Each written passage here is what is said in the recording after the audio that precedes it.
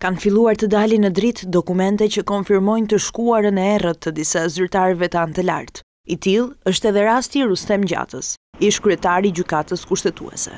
Shqiptarja.com ka publikuar këtë dokument të Kuvendit të Shqipërisë, i cili është deklasifikuar pas njëzet e pesë vitesh që mbahej sekret. Është procesverbali i seancës plenare të katërmbëdhjetë marsit një mijë e nëntëqind e nëntëdhjetë e tetë, me objekt shkarkimin e kryetarit të Gjykatës Kushtetuese, Rustem Gjata, babai i Çlirim Gjatës, ish-kandidat për deputet i Partisë Demokratike. Në hyrje të procesverbalit të seancës me dyer të mbyllura, mbajtur sekret për njëzet e pesë vite, thuhet se Rustem Gjata, i emëruar nga PD-ja e Sali Berishës anëtar i Gjykatës Kushtetuese, Kishte qenë bashkëpunëtor vullnetar i ish Sigurimit të Shtetit, fakt që provohej nga dy relacione të shkruara dhe të firmosura nga Gjata, kur raportonte kundër shokëve të tij kosovarë, shumica njerëz të shkencës dhe kulturës.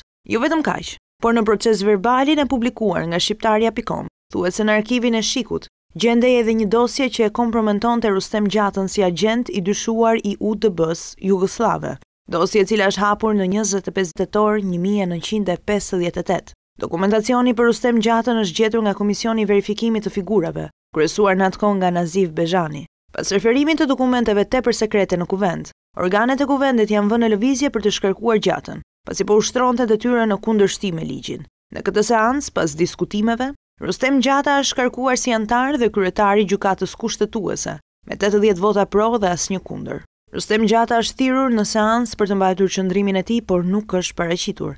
Në seancë është thirrur Nazif Bezhani, i cili iu është përgjigjur pyetjeve të deputetëve. Mes të tjerave, Bezhani ka pohuar se.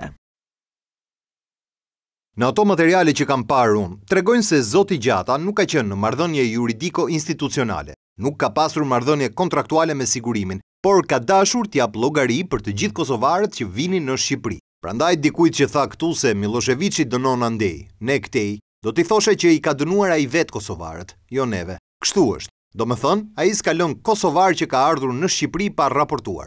Unë mendoj që këtu kemi të bëjmë me probleme tepër serioze, kështu që një njeri i tillë nuk mund të drejtojë një nga pushtetet dhe aq më tepër të jetë në krye të piramidës së drejtësisë shqiptare.